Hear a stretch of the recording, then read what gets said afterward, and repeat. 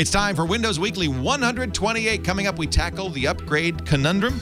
Paul gives you his bottom line security advice, and we learn Paul's true pirate identity. Windows Weekly is next. Netcasts you love. From people you trust. This is Twit.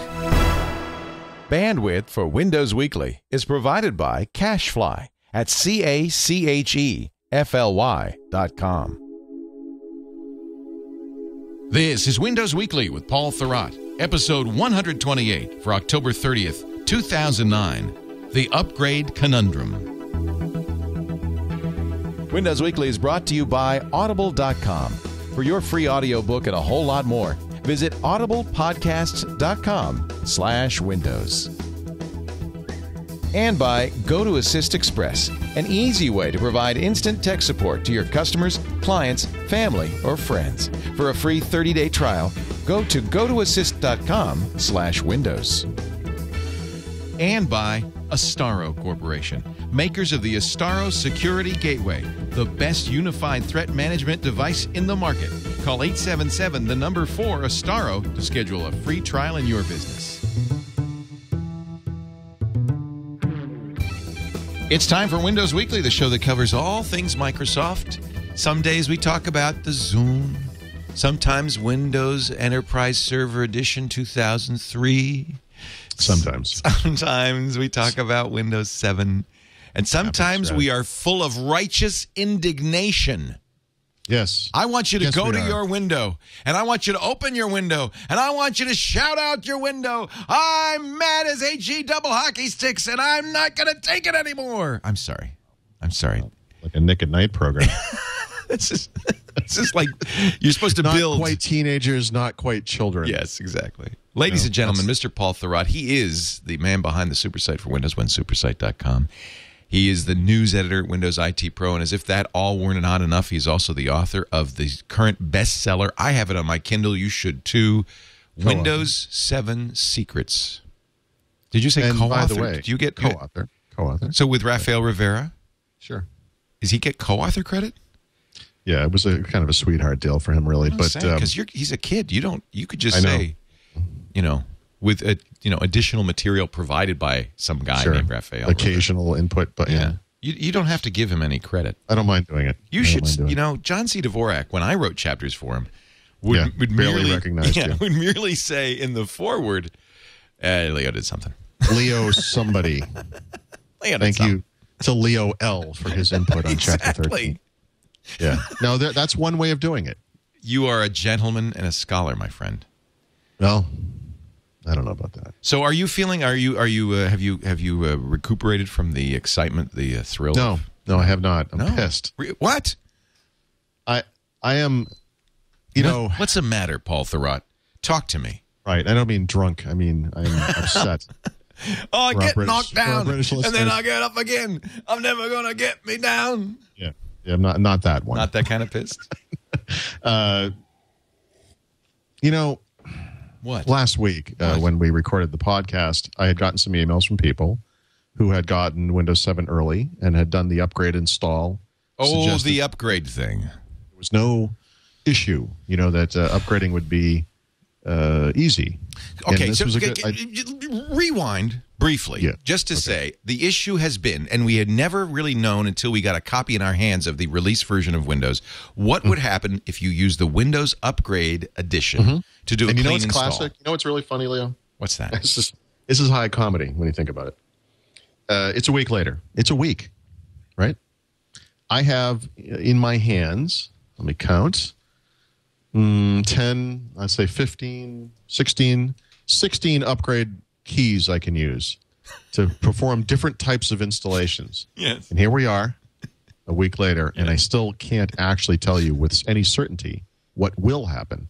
I, what I can tell you is what may happen, what will probably happen, and I can give you some advice for things to do if those things that I you want to happen do not happen. But no, but no, um, like memo from Redmond, no uh, Yeah, yeah, telegram, no hint, no smoke Clearly signals. stated, this is the policy, this is how it works. This is how it will work every single time. Nothing This like is how- that. Nothing like that. Yeah, no, nothing like that. That's odd.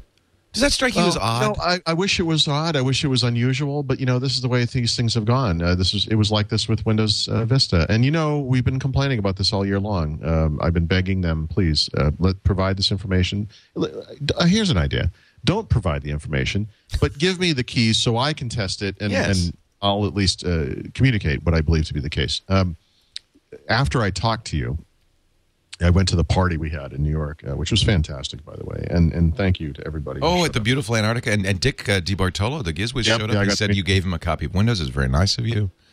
He's a great Um, guy. He said it was a wonderful party. So you Yeah, had? yeah. Did you have a big You know- group there? Yeah, yeah. I don't know how many people, but I would say probably fifty or more. I mean, That's the guys from the bar were really happy with our, uh, you know, the turnout. Uh, so Yeah. uh, that was nice. I gave a copy of the book to the to the bartender, but don't get me distracted with the feel good stuff because actually, you know, the I'm sorry, first thing, Paul. No, no, I'm sorry. okay. Let's bring that rain cloud back out. It was a that was a Bring perfectly it was a wonderful wonderful experience. But let's move on from that for a moment because what I really want to talk about is the absolute um, hellhole of an experience that this upgrade thing has been. Um, I saw you know Ed Bott right away, and uh, I went up to Ed and I said, actually this happened the night before. So I saw Ed the night before the launch, and I said, Ed, listen to me. I, I've been dying to find out this thing about the upgrade. And he says, Oh, you too? And he said, Listen, I've been bugging them all year. I asked them again and again. They always push me off. And his story was exactly the same as mine. You know, that this was the one question, you know, the one thing remaining, the one mystery about Windows 7. You know, how do we, how does this work? You know, what's the policy? What will or will not make that machine activate? You know, what are the different scenarios? Uh, Microsoft refused to answer these questions. Um, Wait, wait, wait, how did they refuse? well, the way they did it was by putting us off. So uh, what it all boiled down to was, um, you know, we'll get you upgrade media, and uh, it will be sometime. I remember in the spring it was going to happen right around the release candidate. The release candidate happened. We'll have it in August. August came and went. Oh, we'll get a little closer to launch. Uh, closer to launch. it'll be the week before the launch, and then the week before the launch, I asked. And I said, eh, "We don't really have any, but maybe the day of the launch, we'll actually go out and buy some upgrade media, and then we'll hand them out." And I said, the, the day of the launch? Are you kidding me? I mean, you know, aside from the fact that I was incredibly busy that day, um, you know, the fact is around around the world, millions and millions of people bought this upgrade package because Microsoft offered it at a steep discount, and it was a no-brainer. You got to buy this, but w- without any explanation whatsoever as to how it would work or if it would work. It I, it is disingenuous, at least potentially illegal. I think from a contractual standpoint, for them to do what they did because they did not spell out when this would work and when it would not work in any meaningful way. And, and here's the issue virtually everyone who owns a PC qualifies for an upgrade version of Windows. W- what I mean by that is you have a PC and you want to upgrade it, you qualify. Uh, Unless it's running Windows 98. I mean, it would have to be that old for you not to qualify, right? Windows 2000, Windows XP, the majority of people, right, today, XP, Windows Vista, you qualify. You just qualify. But beyond qualifying, there are all these difficult scenarios that don't quite equal what I think people expect to get. So, for example, uh, you have a 32 bit version of Windows XP because virtually all versions of Windows XP are 32 bit. You want to upgrade to, um, you know, Windows 7. Yeah, But but well, you know, you have a 64-bit PC because you bought it, you know, within the last year or two, and it has four gigabytes of RAM, which Windows XP can't Right, take advantage. right, now you want to go right. to 64-bit, right? of course, perfectly logical. Gee, absolutely. Reasonable to think So that you could. Uh, I just buy an upgrade. Uh, it's just an upgrade, right? Doesn't doesn't work that way. What? It, you can make it work, right? You can't, but you can't. You can't do an in-place upgrade ever from 32 to Well, 64. but, but, but we've already said we don't want to do an in-place upgrade, right? right. I understand But that because there's a 32-bit kernel on there. Yeah. You got to wipe that the- stuff out. So here's the thing. Now, Yeah. for many, many people, uh, based on my email, uh, if you're starting with a, uh, you know, you boot the computer, Yeah. you run setup, you either blow away or do not blow away your existing Windows install, you know, diff- depending on how you do it.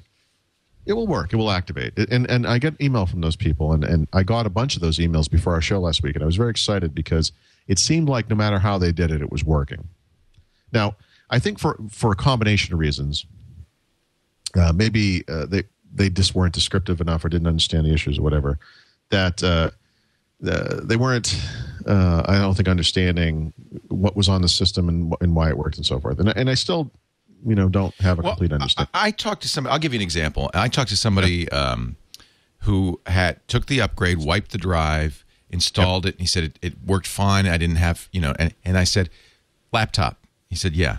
Said Dell. He said HP. He said hidden partition. He said, oh yeah, I noticed there was a partition on there. I think Yeah. in many cases you've got people who don't know they have hidden partitions that actually contain the previous version of Windows, and I'm sure that's all Windows needs and to it go. detects that. Yeah. Yeah. You know, there are people that might make a mistake in, um, you know, using some kind of tool to wipe out their computer because they they want to like have a clean install. Right. But then when they boot it with the setup disk, it sees an empty hard drive and it doesn't qualify for the upgrade. Now, what's amazing about this, and th- this is a big problem, uh, you can run a, a, clean install, what Microsoft calls a custom install of Windows 7 using the upgrade media, which I am 99% positive that all of the media for Windows 7 are identical, that the only meaningful difference is the key, the product Right, key, right. determines the type Right. of install. I think that's true. I think it to be true. I, I can't state it as a fact, but I believe it to be true. Uh, oh, wait a minute though. Yeah. No. Okay. Here's a oh, data no, no, point. no. This is a data point for you. I have Windows Home Premium upgrade installed on a clean hard drive. Used the serial number by accident I said no. for Ultimate. Oh, Or no, no, maybe right. it's okay, vice- no, I was vice say, right. I don't, oh, right, right, right. So, I, I, I, I So the, right. the, the, I- I the serial number wanna- does have to mar- ma- the serial number does have to match somehow. and I, and I didn't mean to. I should have qualified this. Okay.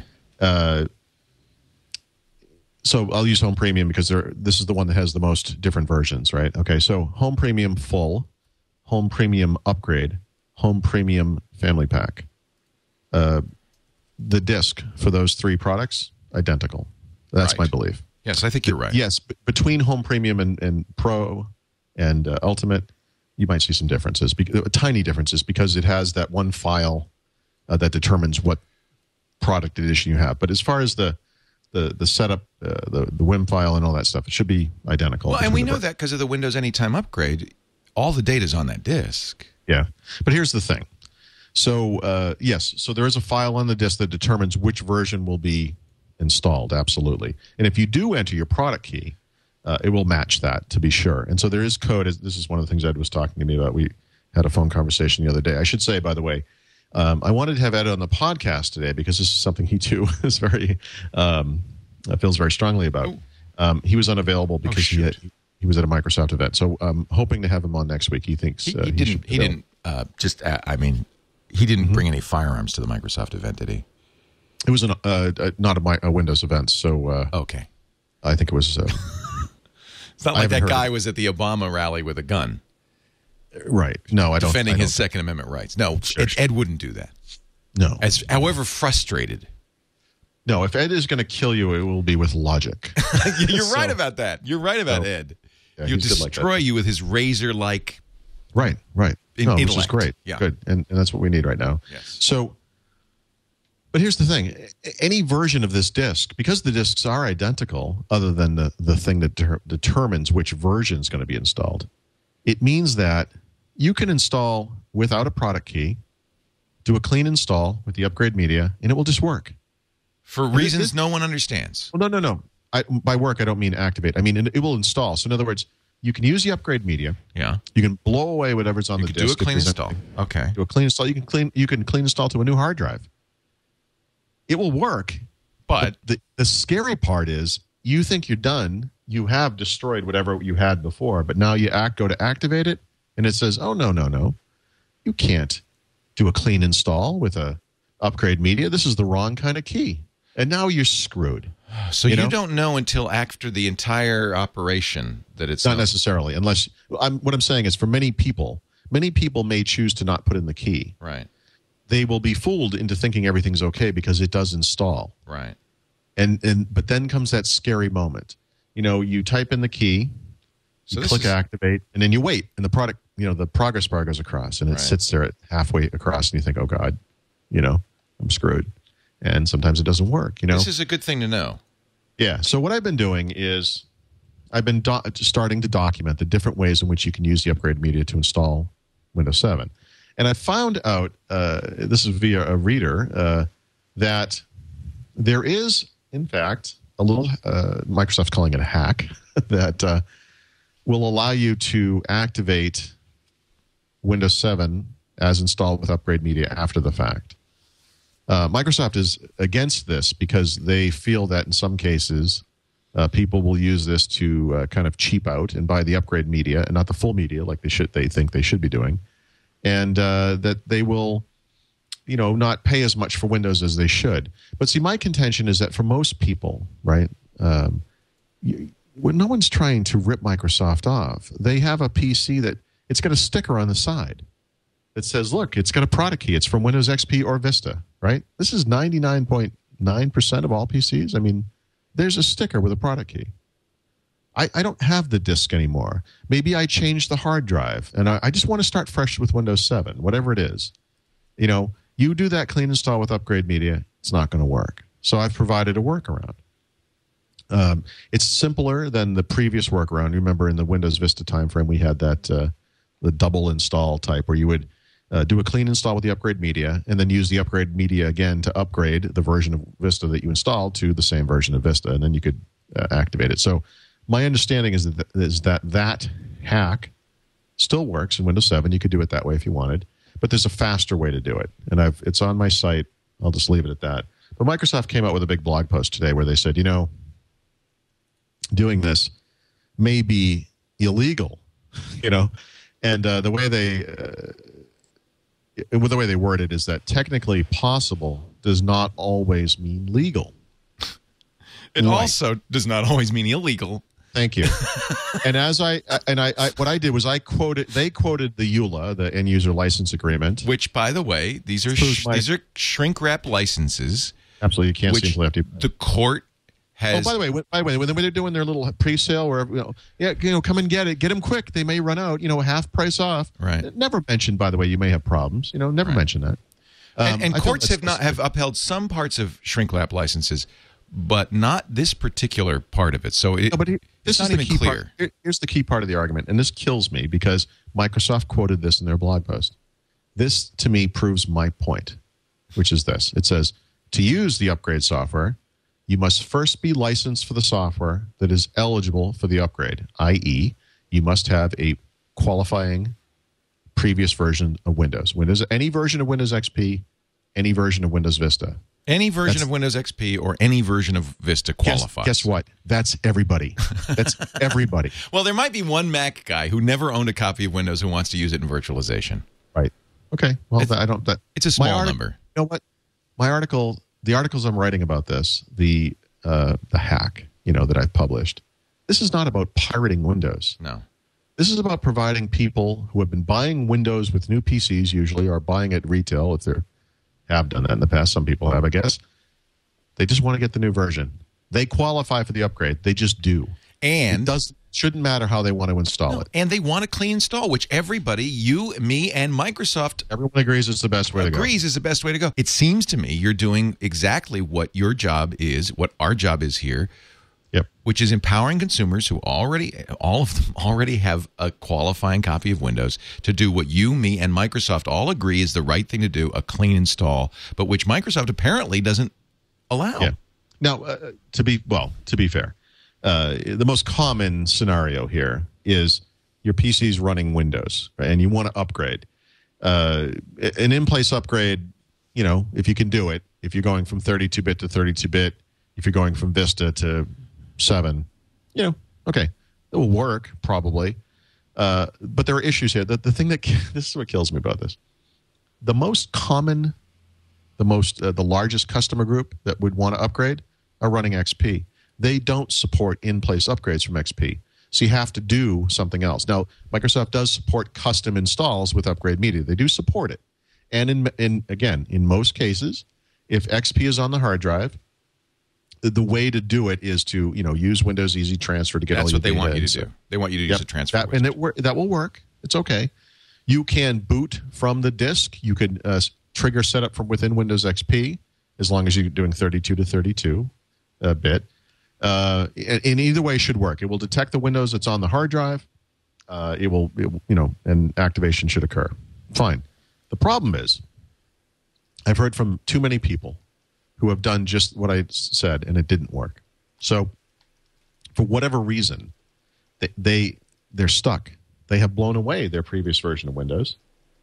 Uh, they have installed Windows 7, and now the clock's ticking, and Windows will not activate. And they absolutely qualified for that upgrade pricing. They're not ripping anyone off.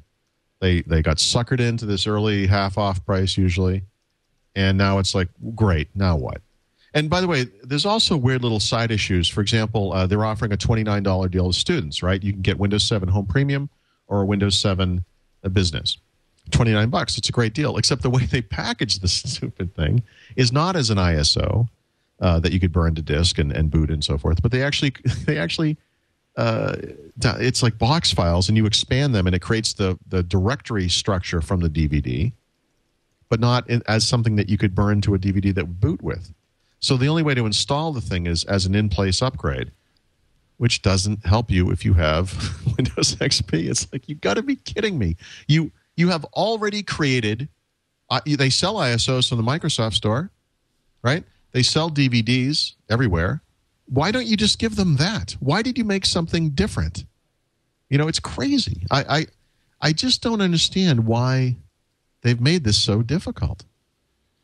It's the simplest thing in the world, and they're what they're concerned about. And this is an, an, a very common complaint about Microsoft that there's there's a lot of anti-piracy stuff in Windows that is aimed at the one percent of people right. or less who pirate software, and what it does is put out the ninety nine percent of people who don't.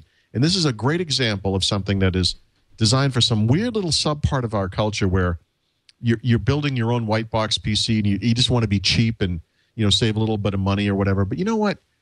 seriously, if that's what you're doing, just buy the OEM version for crying out loud. I mean, why? It's less money. Uh, uh the OEM version of Windows 7 Home Premium, which is the full version, by the way, is less money than the upgrade version if you buy it at Newegg. Mm-hmm. Why? Why? There, people aren't doing this anyway.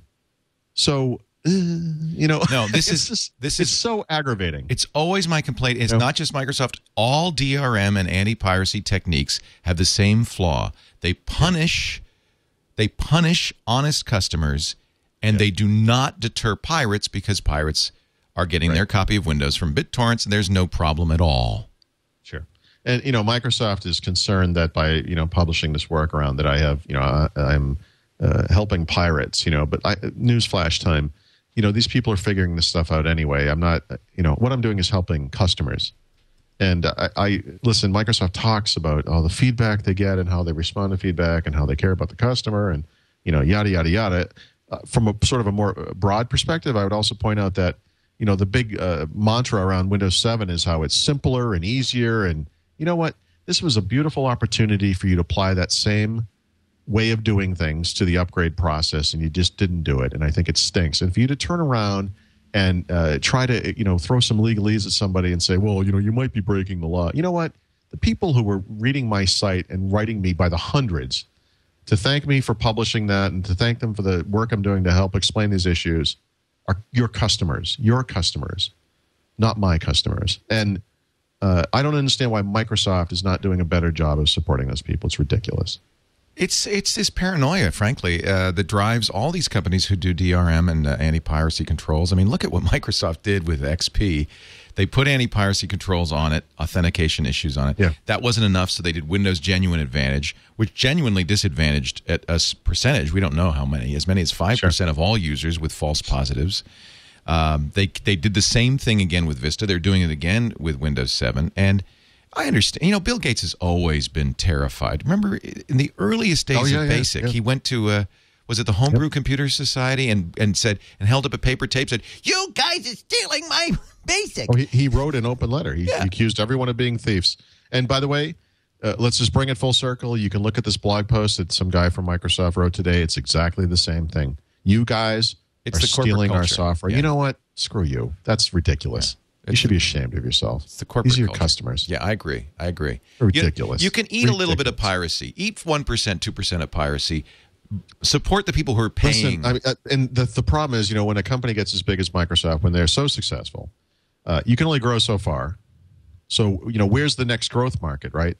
Uh, eventually, you turn to piracy because Uh, pirated versions of Windows, I guess, are suddenly your number one uh, competitor. You know, even though it's it's still a tiny percentage. This this is the uh, thing I don't. Yeah, you know, we've seen this. The music industry never got it, and mm-hmm. and and what finally they had to realize was their competition is the free version that's on the pirate sites. Yeah. You are teaching your customers how to get around this stuff. Now, Yep. And by being overly belligerent about it, you're teaching them to hate you and to not care what you want them it's to do. It's too bad. This is the only blight on what was an absolutely successful launch. Oh, I mean, unbelievable! Beautiful. It, the software is excellent. The launch was nice. Uh, you know, you it's a nice feel good vibe about the whole thing. You can you know you can be proud about running Windows again. How, how wonderful is that? But you know, God, it's the simplest thing in the world, and I just don't so I just don't get it.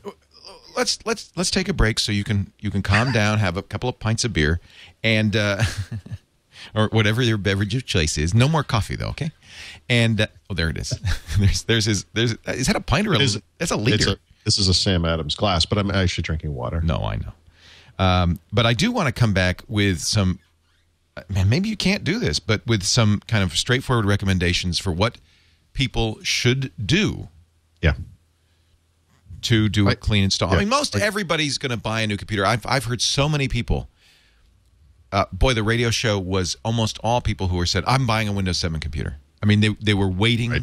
By the way, that's the way to go. But I would just say, as far as well, what do you, you want? Let's. I'll do a commercial, and then when we come back, Okay. just that's the basic. You know, all this. I know. this I do. I do have some. I do have some basic advice. Just some basic tips because it's been very confused from from the day that you and I did the Windows 7 launch party last week.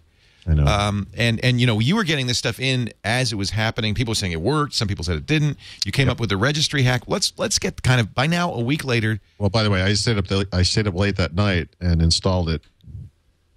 And it, when it didn't work, you know, on a clean hard drive, I thought, "Oh my Oh god, shoot! yeah, they did it again." You how many how many? Well, I- I'm curious. When we come back, how many times have you? You start counting. How many times have you installed Windows 7 now? It's in the last seven days. oh, okay, yeah, Yeah, Start thinking. No, I know many times before that, Yeah. but starting Yeah, with yeah. October 22nd. yep. this is what I want to know. Before we do that, though, I, I, I really want to talk about uh, Astaro. This is, you know, we talk about security a lot. And of course, on security now, we talk about security. Uh, if you're in business, you don't want to be going around each and every computer in the in the company and installing antivirus, anti-piracy, locking it down. You you want a centralized, unified threat management system that'll protect every one of your seats transparently, easily, effectively, and that is the Astaro Security Gateway. I am I am just I am a big believer in Astaro. Uh, many of you have tried Astaro uh, because, uh, unlike most companies, they give away for home users and for non-commercial use, they give away the full version of the Astaro Security Gateway to run on your own hardware. But if you're in business, you can get a demo unit absolutely free, and I want you to call them and try this in your business. I'm going to give you a list of features and benefits so you understand what we're talking about here. No, no smoke and mirrors, just very straightforward. 877, the number 4 ASTARO. You can get a demo unit. You get you get absolutely the best, of course, industrial strength, stateful packet inspection, all the bells and whistles firewall. You get intrusion detection and prevention. You get uh, three antiviruses, two for email, one for the web. You get absolute control of the content, including peer to peer networks, instant messaging, all of that stuff. But then you get some stuff that I don't think a lot of UTMs throw in. For instance, a very easy to use VPN that supports all the protocols that you want IPsec, L2TP over IPsec, PPTP, uh, tunneling with SSL, which makes it very easy for the boss. And you know he's a knucklehead, so you want to make it easy for the boss. He's going to love it. Smithers, I've never had such an easy SSL experience. VPN experience. It's amazing. Smithers, you'll you'll double your salary. and if your name's Smithers, please don't don't harass me. Uh, you can also you can also uh, uh, in, include encryption uh, into your standard finally into your standards without putting any software on the desktops. We've got full SMIME and OpenPGP encryption, decryption, digital signature, all handled at the Astaro, at the gateway. That's the uh, new V7 Astaro uh, security uh, gateway. Uh, full support for operations in a virtual, virtualized environment. Okay, so whatever you know setup you've got, you're set. VMware ready. Um, I, I just I, I can't. I, if you're a large environment and you think you're going to grow, which is important for us, we, keep adding desks. They've got uh, something they call active active clustering. So you can do load distribution for as many as 10 Astaro security gateways. You don't need to add additional load balancers or anything. You just add the gateways. That's patent pending technology. Like I can go on and on, but the best thing to do is to try it right now in your place of business. ASTARO.com worldwide. Uh, in the U.S., call toll free 877 the number 4 ASTARO. Astaro.com. This is security done right. If you're in business, you need Astaro. All right, Paul. So our recommend, and by the way, thank you, Astaro, for uh, supporting Windows Weekly. It's great. We've had them for years on uh, security now, and it's great to have them on Windows Weekly as well. So I okay. There's several different use scenarios. Anybody buying a new computer, easy. Buy Windows 7. Don't. It's a no-brainer. Just do it. Yep. Um, if you bought a computer in the last couple of months and you have the Windows 7 disk coming, what's your recommendation there? Uh, you know, you, you bought a computer with Yeah, Vista, but yeah. it's but it's Windows 7 ready. What do you do? Well, see, so here's the thing. See, there's no answer. You you could upgrade. It's easy to Well, upgrade in place, right? In other words, I guess what I'm saying is, people, different people want to do different things. Right, You know, right. if you have Windows XP, you don't have a choice. You have to do a migration. We know that. Migration is a four-step process. You're going to uh, back up your stuff. You're going to uh, clean install the new OS. You're going to reapply your settings and data, and then you have to reinstall your applications. Okay, Okay. four steps. And that can, like a- that can take a day. That we we've Oh, seen yeah. that take Yeah, a long part of a day. time. Yeah. Absolutely. Yeah. That could be a long time. Now, as long as Windows XP is running on that system, right? Currently, it's on the hard drive, and you're installing it to the same hard drive, right? Uh, and by the way, this applies to Vista as well. If you want to do a migration rather than an in-place upgrade, which I would recommend, um, it should work. It should just work, right? Um, the way to make sure it's going to work, by the way, I guess, and this is contrary to the way I've always installed Windows, but because of the uncertainty here, I think this might be worth doing, is you know what? Put your product key in during setup because setup will bounce it if it's not going to work. So that saves wanna- you that step It will save you the heartbreak later, right? Um, of going So- through the whole thing and then finding out it doesn't work. Yeah, that would be my general recommendation. I, I the very first article I wrote about this post launch was, you know, I, three methods. Right. The first one is just do it. Right. Uh, activate it. It's not enough to install the system. See, the, the, the issue here is you ha- it has to activate. Right. Um, if you can activate Windows, you're great. You're you know you're good to go. You're You're done. You're done. Yeah. Um, and so, so the point is that some people can just activate. Right. We don't And if you understand can't- why or who, but some people can. Well, we sometimes we understand why, but sometimes we don't understand why it doesn't work. You know, Right. Uh, I, I, I, I wish I could say with certainty, uh, but it should always work if you're doing. You know, when you run setup from the previous version of Windows, Right. Which you can do uh, from um, Vista, and you can do from 32 to 32 bit. Um, if you boot the system uh, for various reasons, um, you know it, it may not work. One of the other things that happens is if you do, if you, depending on the uh, install type and it, depending on the way you launch and uh, setup, you may be given the option to um, format the disk during setup. If you don't format the disk, and this, and by the way, we're always talking about installing to the same partition as the previous version of Windows. Okay, if you don't format the disk, what? And by the way, it will prompt you to this effect uh, you will get a message from setup that says, "Hey, there's a previous version of Windows on here," which is, by the way, a great sign when setup tells you that. Um, we're going to save the relevant folder structure to a folder called Windows.old, right. and you should let it do that. Um, the reason is, it, we all make mistakes backing up and so forth. There may be stuff in there that's useful to have. Um, I would leave that thing there for a little while. It's going to take up some huge amount of space depending on how much junk is on your PC, but uh, leave it there as sort of a safety net, and and you may, in reapplying all your settings and data down the road, you may say, "Oh, geez, I'm missing this thing," and it might be in that folder structure, so it's worth having it there. So you could browse that folder structure and pull it over if there's something. Right. It's not in, it's not uh, protected in any way or in some weird format. It's just a folder structure. So uh, I would do that. And uh, I guess the first. And then you could delete that later to save disk space. Absolutely, yeah. If you if you find yourself running out of disk space, or you find that you never need to go in there, you can absolutely. There's nothing in there that you you know it doesn't refer to it. There's no reference to it in anywhere. Else. It doesn't need it for Yep, Windows 7. got it. Yep. So that's the general the general advice. The the problem for me is in in the testing of this. Uh, this it's very difficult to test because you have to activate every time you install to make sure it works, and and you don't just and you have to activate the previous version of Windows to make sure it's all legit, and you have to activate the new version of Windows. Right. This requires a separate key for every install, which can be expensive. You know, so by the time I left New York, I had I had worked with five retail upgrade keys that I had purchased uh, myself, Wow. and then Microsoft uh, showed up finally with a bunch of them uh, for me since I've been home. So now I can use the ones they've sent.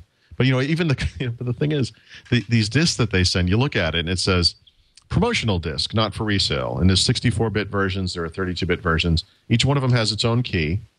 It doesn't say anything on this disc about upgrade anywhere. So you would think it's a full. Well, I don't know what you would think. I don't. How could you tell? So I, I called them up and I said, uh, "Listen, I really appreciate the little gift bag here, but What the hell is how do I this? how do I well, how do I know these are upgrade?" Right. And they said, "No, no, those are upgrade keys." right, but but how do I know that?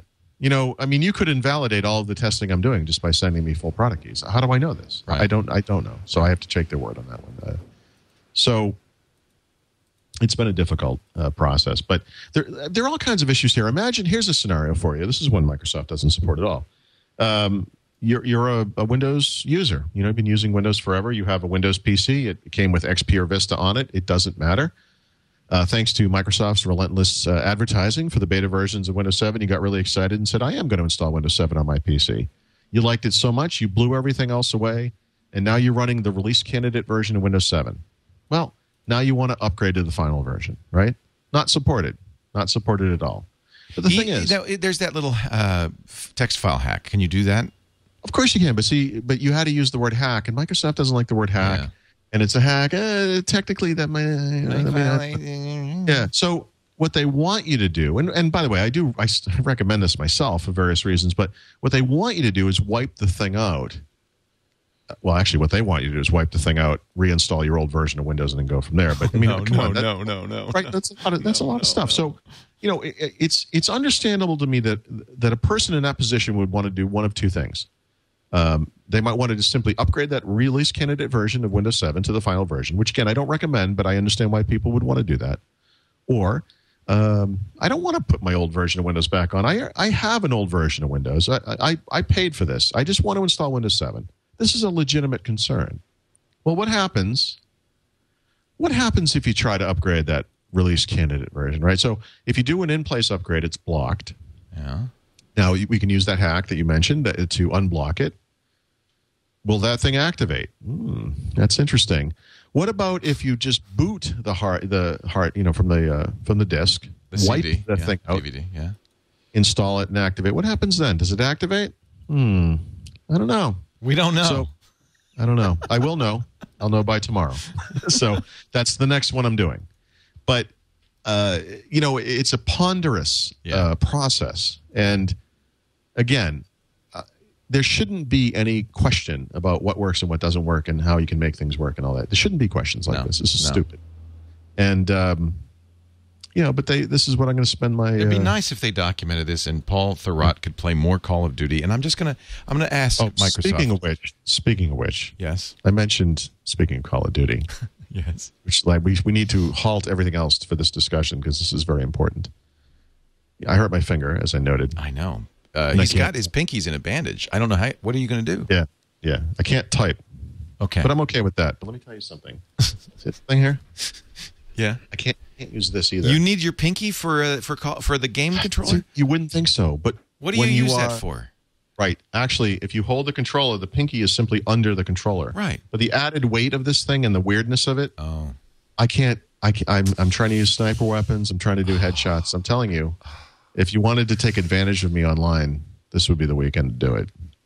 your chance to teabag Paul right now, right here. Wow, I wouldn't. Why? That's not necessarily the phrase I would have used. But um, yes, certainly. Uh, Did they do it? Because I'll tell you why I say that. okay. Because the one time I played Call of Duty, some 14 year old shot me, and Then- then, and then did that to Okay. me. So and is that does that common practice, or was I just did I? official- run- It is common. They're they're nodding in the studio. The yeah. official, the official term is corpse humping. Okay. now, my son, who is 11 and innocent, uh, believes that they're just hot, jumping up and down on you, and They're that just this happy. is some, some form of insult. Mommy and daddy are just wrestling kids. It's it's Yeah. they're we're just happy. very, very happy. And um, and now you're having a sister. so Aren't you So- happy? maybe a little too happy. I'm sorry. Anywho, I'm we have to put the explicit tag on this. Uh, anyway, no, I think I think it's all been innuendo up to this point. Although Yeah, the show's about to go out innuendo, but it but it, it's been all been innuendo up to this point. steps right over the line. So Yes, sir. Oh man, I feel your pain because it, it, it, this is something a Gordian knot that Microsoft could have cut through in with one memo, saying this, this, this, and this. But but the problem Yeah, really is that yeah. they have, in a way, they've said this is what we want you to do. Sure. So I, I- I, wish Ed will maybe explain this next week. I hope he's on next week. Oh, week. I'd I love to get him on. Yeah. Um, the one thing he said to me at the launch, which I, well, one of the things he said to me, which I think to be true, is that you know what what you're running up against here is that Microsoft is a huge corporation.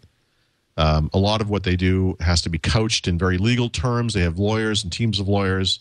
Um, you know, people that do lawyer, lawyer, lawyerly things and legal things and all that, and they can't say certain things and and all that stuff. So, I think unfortunately this is uh, one of those the lawyers got involved type things, and um, you know they're just trying to be careful. But again, I they could have done such a better job. You know, if you're doing this, this is how you do it. If you're doing this, if you you know, it really could have just spelled it out.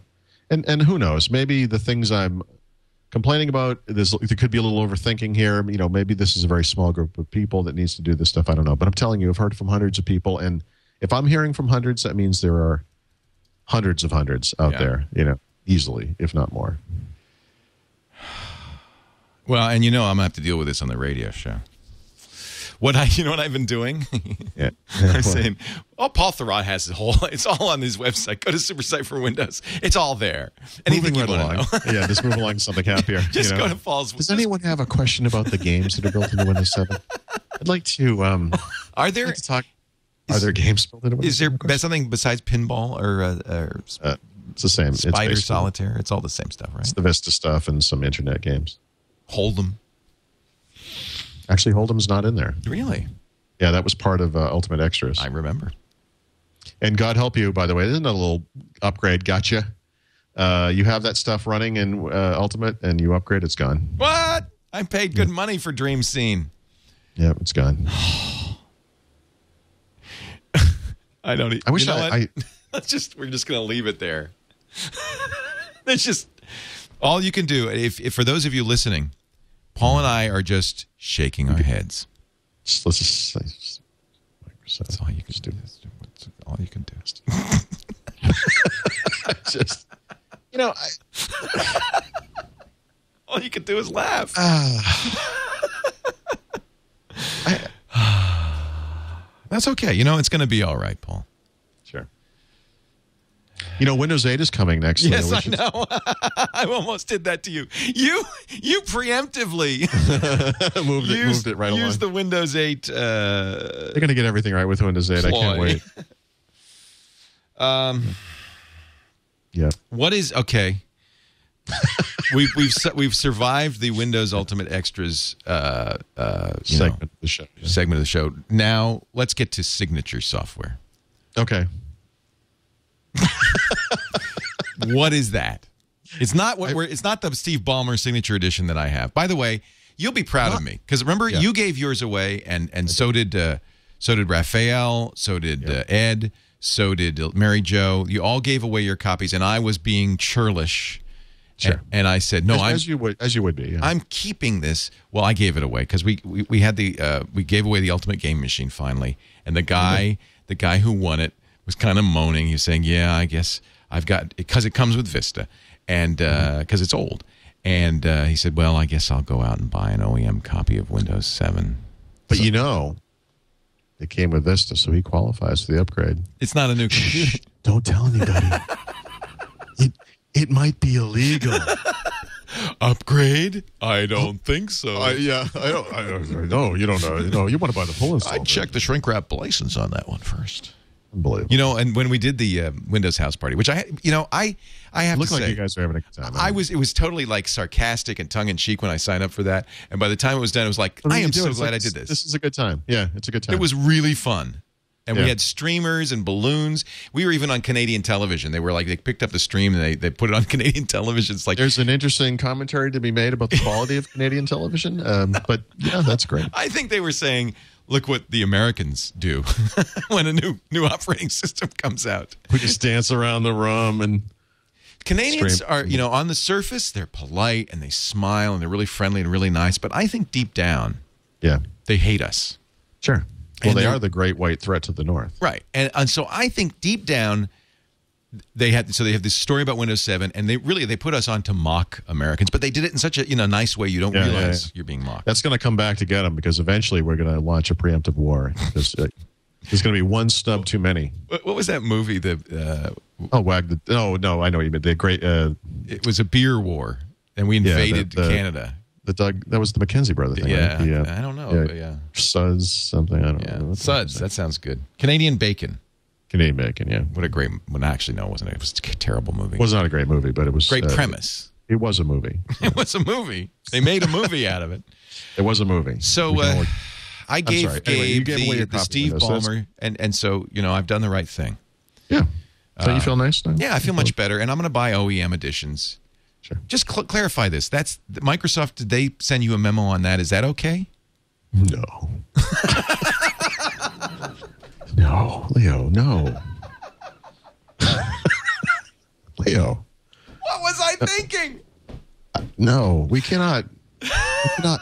We cannot legally recommend No. that people that would be wrong. use the less expensive but equally good OEM media, although available very cheaply at newegg.com.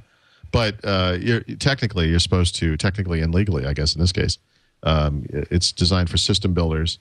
You know, Newegg is able to sell it because of a loophole of some sort. I'm not aware uh, what it is, but they still sell it, that's for sure. Uh, Microsoft in the Netherlands, I was told this morning, came out with a statement about this saying, you know, in most cases, this is in fact illegal, but uh, So you're not joking. They, they really don't like it. yeah. But they've never moved to stop it in the U.S., so I don't know what to say. I mean, and by the way, when I was, I, I had a conversation with Microsoft uh, yesterday, I think, or two days ago.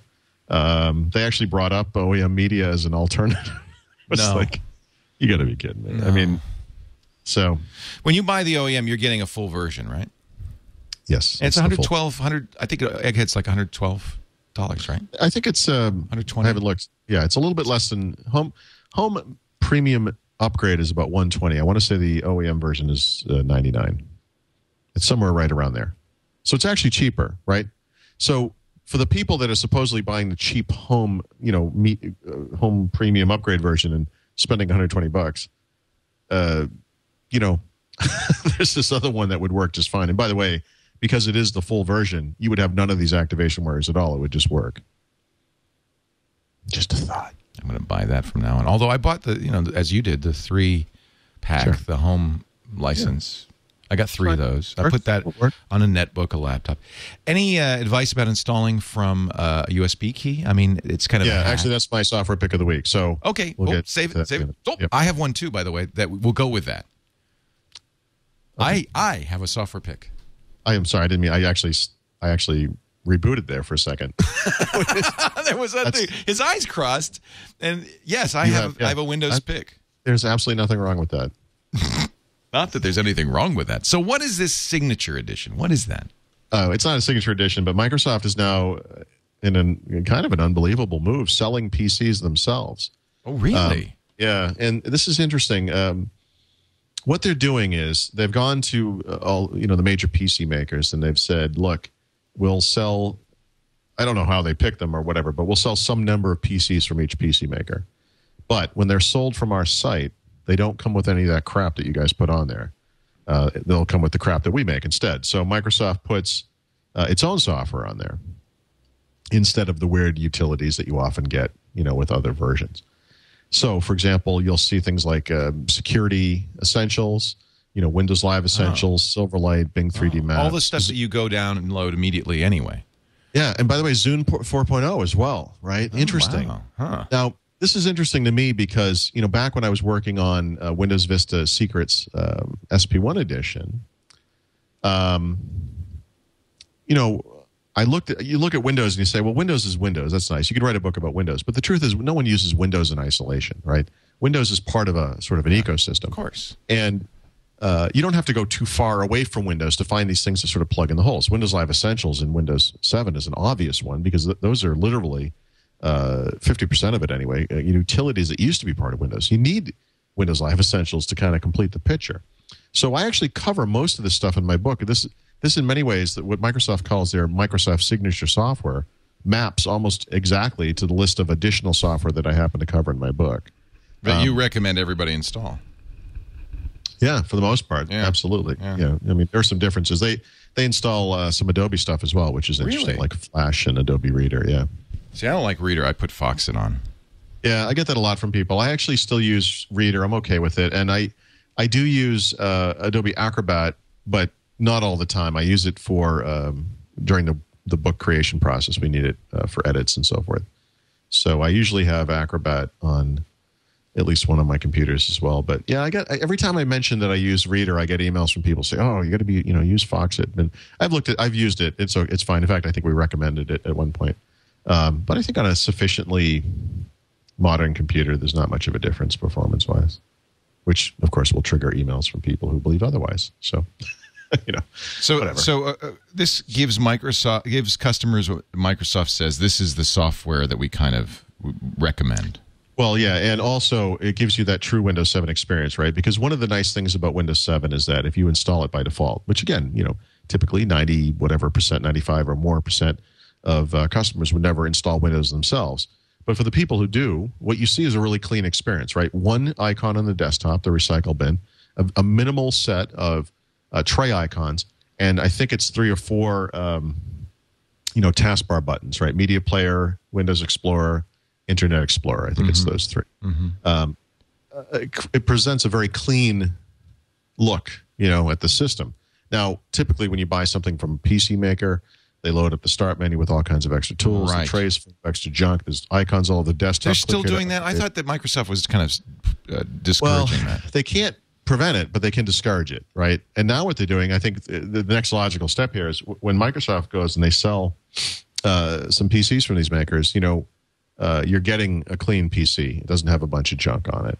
And uh, I think that's I think that's a cool idea. I mean, there's a it's a weird uh, thing, you know, when Microsoft's selling software, uh, selling computers rather, um, but it also gives them another step toward that Apple type experience where they don't uh, technically control the hardware aspect of it, but they are controlling which ones they sell, and they're working with the PC makers to ensure that these things are I think that's both decent machines and you know have the right kind of software. I think that's good. Uh, yeah, yeah, I do too. and it, I'm just looking at the store. They sell Lenovo. Uh, they sell Asus. They sell Acer. Yeah. So here's Sony, the issue, though. Dell. So let's say let's say you are in the market for a Dell computer. Yeah. Let's use Dell as an example, and you're in the uh, you want to buy a laptop of some kind. Let's say the Adamo. That's pretty. I like that one. Yeah, so they sell it. But the thing is, uh, they only sell three different kinds of Dell laptops. And within those kinds of Dell laptops, you don't get the same kind of configuration options. You may have a choice of colors, uh, but it's pretty much a stock configuration. It is. I don't. I'm looking here, and I don't. All I could choose Yeah. is color. That's it. Yeah, and that's that's pretty much what you're looking at. So it's a little bit less of a um, uh, a selection than you would typically get out in the real world, so to speak. But you know, there, there's an interesting psychology to choice, right? Uh, there's been a lot of studies about uh, the overwhelming number of choices we have and how that's actually detrimental to Walt the. Mossberg today in the Wall Street Journal said the good news is you have a lot of choices. The bad news is you have a lot of choices. Yeah, right. Once again, stating the obvious. There's so. I think, so, that, I uh, think the word for that is yeah. tautology. But okay. yeah. Okay. Yeah. But Thank you. Well, but it, but it's true, right? But it This is true. uh, it is part of the problem. yes. Uh, Right. So Well, I can yeah, see why Microsoft might want to provide a path. The best I of both worlds. the same thing. Yeah, So I, I, yeah. the way I said it was Microsoft's biggest strength is the size and scope of their ecosystem, but Microsoft's biggest problem is the size. You know, you can't control it. It's a it's an unwieldy, Mm-hmm. uh, huge uh, collection of companies that all have their own interests at heart, and uh, they don't always do the best thing for the customer because they're out to do their own thing. So you know, Apple has less choice, but they you know, sometimes that's an advantage. It's not always an advantage. Let's be very clear, Sometimes it's an but advantage. sometimes, sure. All right. Shall we? Are we? Have we? Have we? Have we beat this? beating us to death. horse to death? for now. All right. No. Uh, before we move on, I want to. Uh, we're going to talk about uh, some big wins and some big losses for Office, Twitter, in the Microsoft context, and uh, more. We've got your picks, my picks. But before we do anything else, I want to mention our friends at Citrix, which rhymes with picks. Citrix is my picks. Uh, I want to mention something that uh, is is of specific use to uh, people who do support.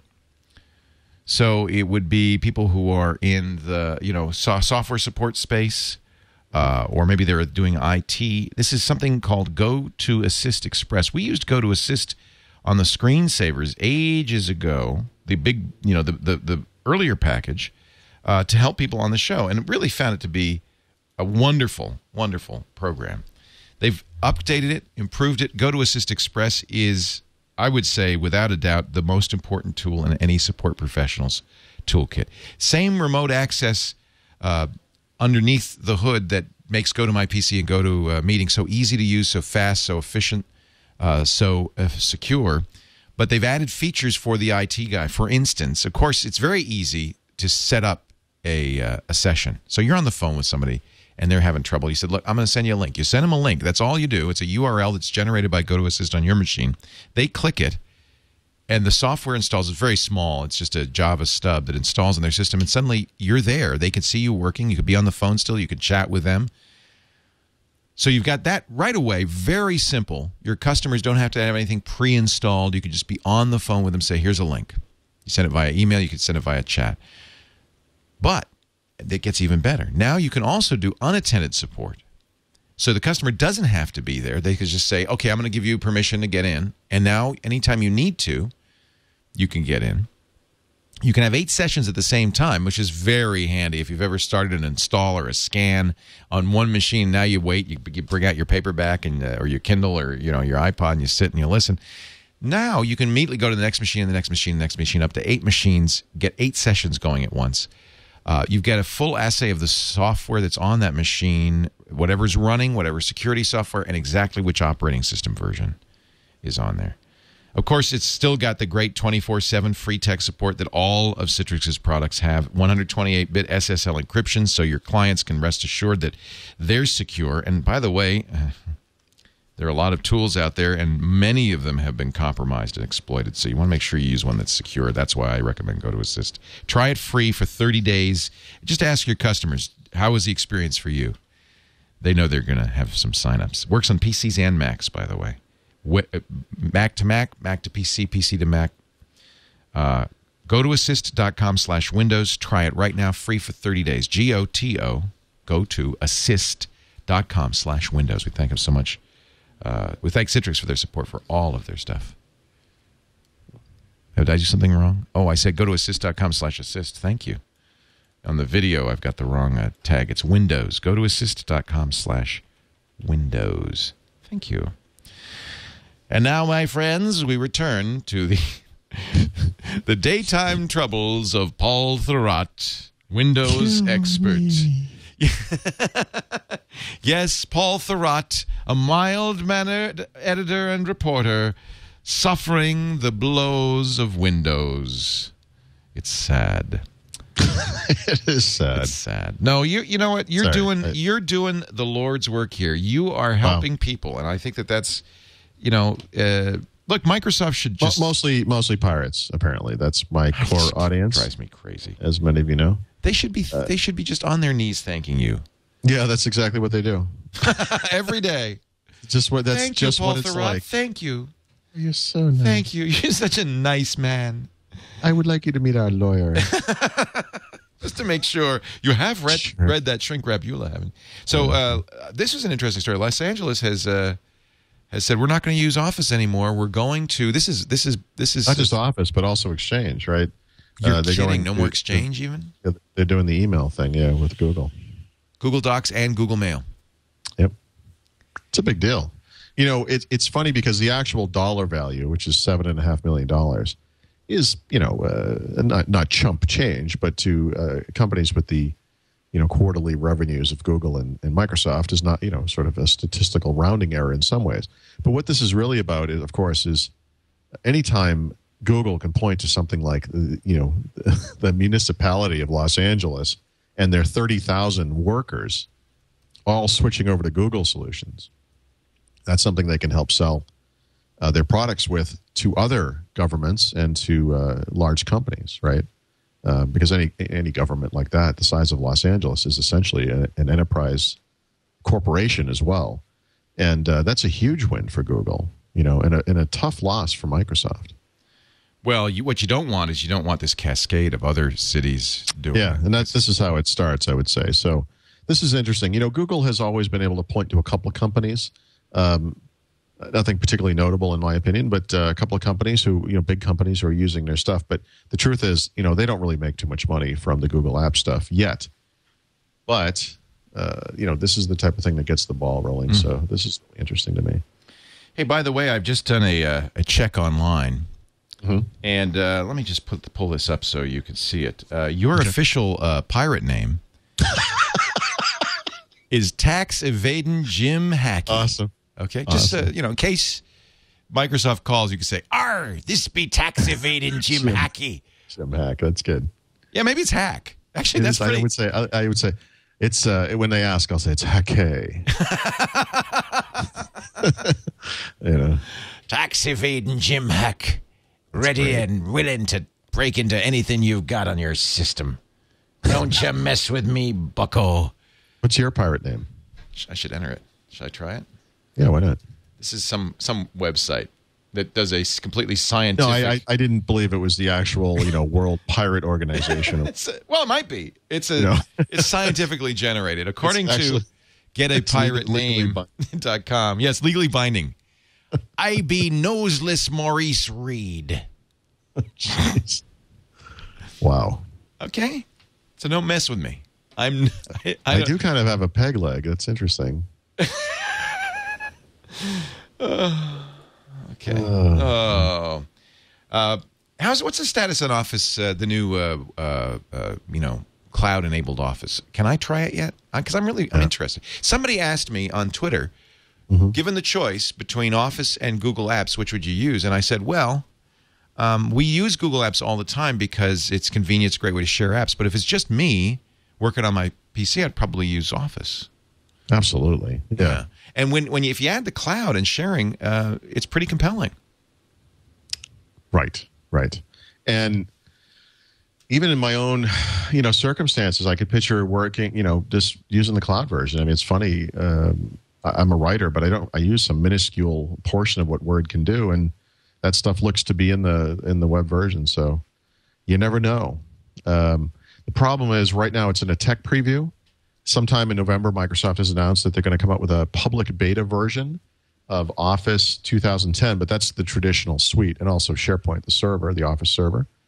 Um, but the Office web applications are on a different schedule, so the, the the beta version of that, presumably public beta, will not happen until later, and we don't know. I don't know when. Yeah, because I really, I'm very interested. Yeah, I am too. And you know, I was a little disappointed with the the tech preview, which I do have access to, because the one thing that I could I would actually use regularly, like I said, would be the Word web app. Right. But the Word web app in the tech preview is unusable. You can all you can do with it is view uh, documents. You can't edit yet. So yeah, yeah, that's not coming until later.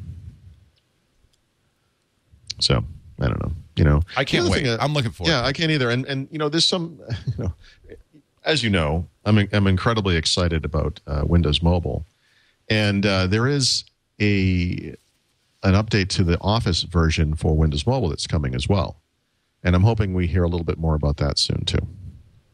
What, so I mean, it would be Windows Mobile on like a so, cell phone, and it has full Office on it.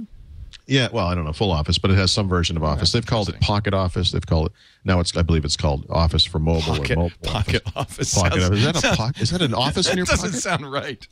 are you just trying to be efficient? What you doing? Uh, Playing Pocket Office. Playing Pocket Office. Um, I'm using I'm using the pointer tool right now. yeah. oh, here comes Clippy.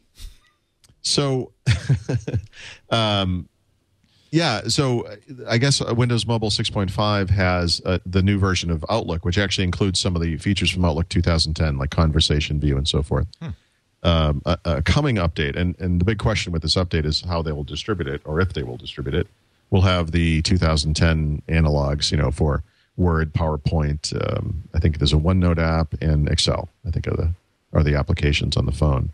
But the nice thing about the phone stuff and the web stuff is that you can pass whatever the supported document types are through those applications, regardless of where they are, and they'll retain all the formatting. They, Microsoft calls this uh, document fidelity, but it's the idea is that even if the uh, the tool you're using doesn't support all of the features, if you're using them in that document, if you have complex, um, you know, let's say animations or something in PowerPoint, you can pass it through the web version of PowerPoint or through the um, the phone version, make edits, and it won't blow away the stuff that it doesn't support. So that's a nice com- uh, uh, combination. I think is the is Yeah, the cloud, yeah. the desktop, and the phone. Right. Especially, especially if one version doesn't screw the other. Exactly, that's the Yeah. key. So there, are, there. Listen, there are decent mobile office uh, solutions for you know for the iPhone, for other uh, mobile operating systems, obviously. But um, you know, just like on the on the web, you know, you know, Google Docs, okay. But you know what you're really looking for is Office, right? I mean, that's you know, that's what you want. Right. That's what I want. Yeah. No, I, I like this idea. I Yeah. love the idea of uh, OneNote, for instance. I think is such a great tool. Yeah, and it gets more interesting when you can host your documents or your uh, notes Mm-hmm. and you know, share them. uh, yeah, yeah, yeah. And then, uh, and then, um, actually, I didn't ask this, but uh, with Windows 7 and and what looks to be a a, a, a lot of manufacturers doing touch Yeah. uh, with Windows 7, OneNote would become even more intriguing. I would think. Yeah. So Maybe not because it's I not mean, stylus. Because it's, I- I just right. I just had this conversation with somebody, and I, you know, I th- sort of thought of it like, well, yeah, if you like drawing in the notebook with crayons, you know, I mean, it is like that. It's like Yeah. with your thumb. Yeah. Yeah, yeah. Thumb drawing. But Microsoft believes, you know, that OneNote will eventually become as popular as Outlook, and what they mean by that is it's something that you leave open on your desktop all the time because you're always using it, not as the main task, but as to uh, take you're notes. Yeah, stuff. yeah, yeah. Exactly. Yeah, to collect information Right. and, and all that stuff. Yeah, I could see it. Bing did a deal with Twitter that got a lot of attention. Then Google followed suit. Imagine, imagine you don't know anything about technology, Okay. and you just dropped in on this conversation. and, you and that's I want you to imagine. It's like it's like listening to people talk Swahili. Goo you just said, gaga. You just, said, you just said Bing, Twitter, Google, right? You're right. Right? You're It right. sounds- We're so inured to it. It sounds ridiculous if you really talk. think about it. Yeah. it is baby talk. So let's talk about this. anyway, I'm sorry. So Google did- just did a deal with Wawa to cover Right. Zuzu. Ooh. and I believe I have just pooped myself. so Somebody needs to burp me. Um, okay, now I don't even remember what the deal was. Is Bing did a de- Bing's a search engine for Microsoft did a deal, as did Google, uh, to include Twitter tweets. it's not getting better, and Nope. Facebook status updates in their real time okay. search. Both companies did the deal with Twitter. I, I believe only Microsoft has the deal. Only Microsoft Facebook, has Facebook. Facebook. I think, Okay. but that, but that's still further down the road. And, and Google's doing something else they call social search, which will look at your Google profile Yeah. and see all of your social uh, graph. They call it your social circle from that, and then search Hmm. what they- that. You know what they should call that? What? They should call it creepy search. right? Because this is how the stalkers are going to keep up with search. You think I, I, uh, I can find out anything Paul Thurrott's it. It looks like Leo is uh, recording again. I think I'll swing by the office and see if he sees me through the window. Oh dear, oh dear. That's why I park my car out the window now. I'm watching it at all times. Don't yeah, pay no attention to the guy in the uh, long jacket. you know, Dane came in yesterday and closed the curtains. and said, "Dane, open the curtains. I'm watching the car. Keep those open." anywho, uh, Anywho. yeah. yeah. So I- I'm I'm of a mixed mind on uh, the. Hello, did you lose something? Yes, the monkey, the monkey, uh, The the, monkey, search monkey's excited. Oh, Jeez, what's on his little cape? It says Woot. It's a Woot.com flying monkey. Wow. Well, You know, I. No, I don't. Never mind. So, Never mind. Uh, Never mind. Just a goddess just walked in the room, and I'm just going to keep on talking as if that weren't so. a goddess. A goddess. The world famous Kiki Stockhammer, ladies and gentlemen. Do you know who Kiki is? Oh my God! Of course I do. You're talking about new tech. Uh, Yeah, the, the the woman who's demoed the video toaster for years at every trade show in yeah, history. yeah, yeah. Allow me to express my love of this woman. I have never actually met. We'll we'll talk to you guys in a minute. I'm still in the middle of uh, Windows Weekly. It's all right. You're welcome to see me uh, push the buttons and, and anything you you want. Kiki taught me everything I know about the TriCaster. I just watched her. She taught me everything I know about the Amiga. Frankly, she taught us everything we know about women. Yes. Yes. Yeah. now she's not happy. now she's I have, not I've happy. gotten into something very creepy. We're, we're here on uh, Kiki Weekly. The name Kiki Stockhammer just sends chills down every nerd's spine of a certain Yeah. age because she hasn't Sure. been doing that in a while. So if you're not a Right. toaster guy, you wouldn't know. It doesn't matter. She's frozen in time for all of us. She is. And you know what? She she looks exactly the same. She looks way better than the Amiga ball thing. Let me tell you. That thing is aged. Not It's so not well. yeah, Not it's so flat and gross. It's weird. Low Anyway, resolution. Yes. let's let's continue on. What, what were we? I'm sorry. I just completely got thrown. It's okay. We were talking about Twitter. it's coming like to- I'm. It's like if you were sitting. It's like oh, when Bob Hope shows up on the Tonight Show, right? He just walks on. It's like, yeah, a walk-in. Yeah. It was a walk-in, but but I but I've never met Kiki. It was like, okay, I'm calmed down now. Wait, you've never met her, and she just walked into your office right now. Yeah, I've never met her. I mean, I've only seen her from afar, demos demonstrating the video toaster. Why? Why are you talking to me? what, what is wrong with you? Listen, listen to me. As one man to another apparent, apparent man, I I recommend highly. They told me if I bought a red car, I'd meet chicks, but boy, I didn't expect it to happen so fast. Yeah. All right, let's continue on with these serious. So done. The serious Windows Rabbit, now. uh, Yeah. meets Frankenstein kind of thing. right? Yeah, that's it. You know. I used to love that. So You know. easily amused. you know, like uh, Bela Lugosi and. Uh, Okay. Anyway. There's no way we're going to get a reasonable discussion out of the Twitter thing. So why don't we just? There's move on? nothing more to say here. Move on. It happened. Uh, who cares? If you're listening in, uh, by now you've realized the truth of the matter is Paul and I do this show just for ourselves. It's really to amuse ourselves. In fact, I'm actually shocked when portions of the things we talk about actually appear online in some kind of an MP3 file. It's kind of stunning, isn't it? Yeah. PowerShell 2.0 was uh, just released. Huh? what? I don't know. I'm just I'm reading the chat room here. oh God! Even that would put. You know, that's. Jesus, what's wrong with those people? But why are they not digging up old videos of Kiki Stockhammer? Well, let's do something. Yeah, get to work, chat room. Come on. Jeez, you're there for a reason. Do she's something. in a um, she's in a in a band Yeah. called Warp. Is it Warp Nine? Warp Eleven? That uh, does Star Trek themed songs. Yikes! and uh, she and her husband are in the band. He plays the guitar, she sings, and uh, I'm trying to book them for my MacWorld live keynote. Nice. Yeah, they're actually here with the uh, the TriCaster HD uh, uh, caravan to demo demonstrate the TriCaster HD. So if you could just Mm-hmm. I, you wrap know, it's this show up. I was thinking you do need an HD TriCaster, and I know you just replaced your existing TriCaster, but still, We need another one. I think they brought Yeah. it. I think they brought one. But anyway, let's move on. Let's get our audible pick uh, here, and then we're going to get your tip of the week, your software of the week, Yep. and uh, and then it's I, I would say we have to wrap this up. it's eventually, Kiki time. So, So, uh, audible.com, my friends, are a great sponsor. They do the audio books. I have really been in an audible binge uh, lately, and I've just been loving listening to the audiobooks uh, because I'm spending more time in, in my new car and driving around a lot. And it has a Mm-hmm. Oh, yeah, of- so what is I can't car? talk about it till Sunday. I just keep, waiting What? for you to ask me. I've said Why? like new Why? car like four times, and you didn't say you didn't bite, you didn't do anything. Um, you know, I'm, I'm usually so uninterested in the stuff that goes on in your life, but actually, no, I, I, I'm sorry. I didn't. Uh, I heard you say I, car. I got a new car, and uh, Actually, let me tell you the okay, So uh, let me explain to you what happened. Okay. You said something about the car, and this Yeah. is what I thought.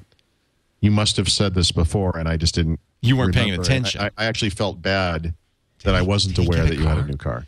I just bought it a couple of days ago. Okay. And, it's, And what is uh, it again? It's a chick magnet. Uh, 2010 So you got to really. It's not. It's not a Corolla then. It's like No, a, it's actual- not a Corolla. It's, see. All I Is can tell like you is it's bright red. crisis car? Is uh, It- that? no, it's it's so far beyond that. It's really more like a second childhood car. Really? Yeah, It's like a. It, does it have gull wing doors? Or what are you practically. Wow. It's my first auto with a spoiler. Let's put it that way. However, a spoiler, like an actual spoiler, not one of those like crazy stupid things that they put in dumb cars. Like an actual requires a spoiler because at a certain speed this thing could actually flip over. yeah, Wow.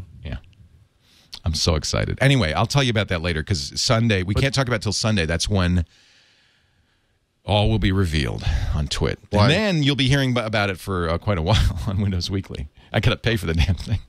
Okay.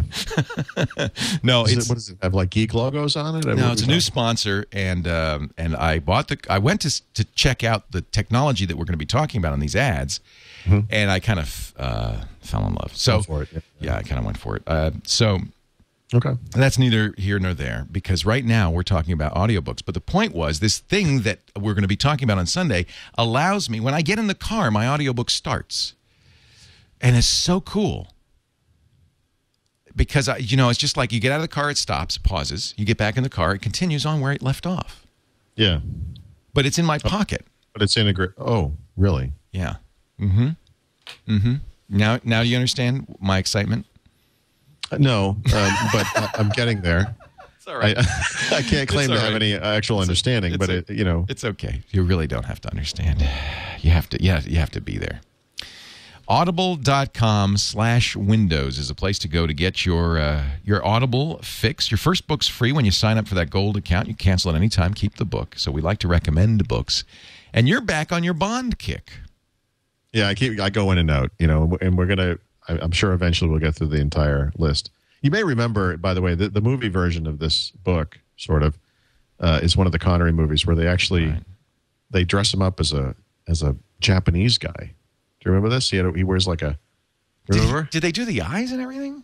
Yeah, well, yeah, they gave him makeup and they it's, Oh, it's they gave him the, the the bowl haircut and You're kidding. It- I don't remember it's- that. I don't think you can weird, get away actually, with that today. But the book you? does, in fact, involve him going to Japan. So it, it's sort of loosely based on the book. Uh, It's a pretty sexy cover there. You Only Live Twice by Ian Yeah. Fleming. and actually, when I, I was listening to uh, this, and they, the guy imitates a like a Japanese accent when he talks in Japanese. No.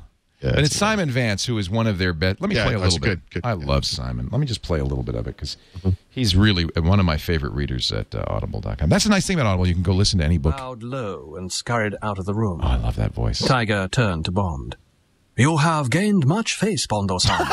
it is only... No! Told you.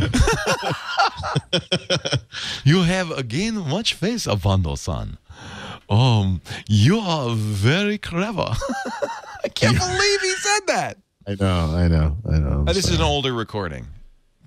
But I, we know Japanese people sound exactly like that. They, exactly like that. So it's it's very accurate. And, uh, Wow. It's but good- you know it's it's, fun. It's tongue in cheek. This is this is the 50s. it's a good book. That's a classic.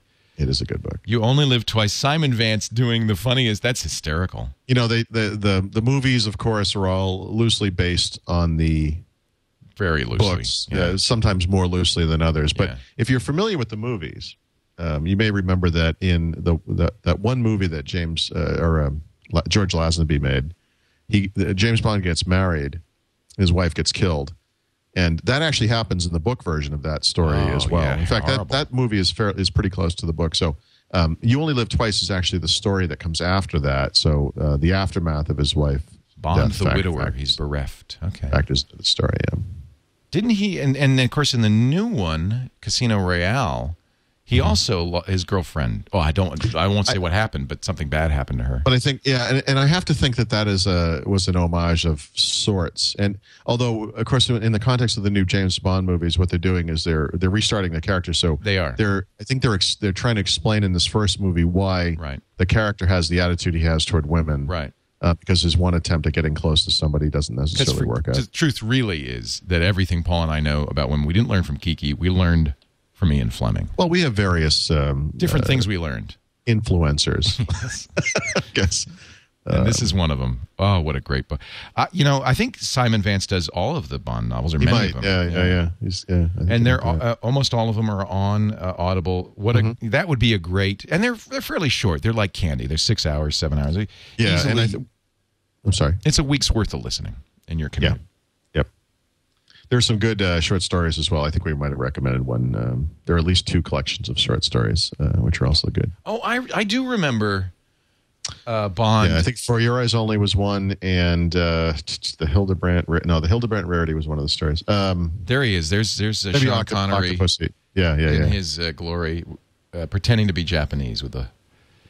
it wasn't it wasn't a very effective. I think the Scottish li- uh, brogue kind of. Uh, I think he squinted and he had black hair. The- You, watch out, here I come. It's hard to be tough when you're wearing a kimono too. I mean, let's face it. I love it. Hey, I'm a big fan of Audible. I know you will be too. If you've never listened to an audiobook, this would be a really good choice because it's it's uh it's it's very cinematic. It's a you would love this, I think. Give it a try. Just go you can do it free. Audible.com slash windows so that Paul gets credit for this great pick. Our recommendation of the week, You Only Live Twice by Ian Fleming, unabridged, narrated by Simon Vance. Audible.com slash windows. We thank him so much for their support of the Windows Weekly program. Mr. Paulie, you have a tip for us today. You've really this has been the tip laden show, so you know you Mm-hmm. don't have to have a tip if you don't want to.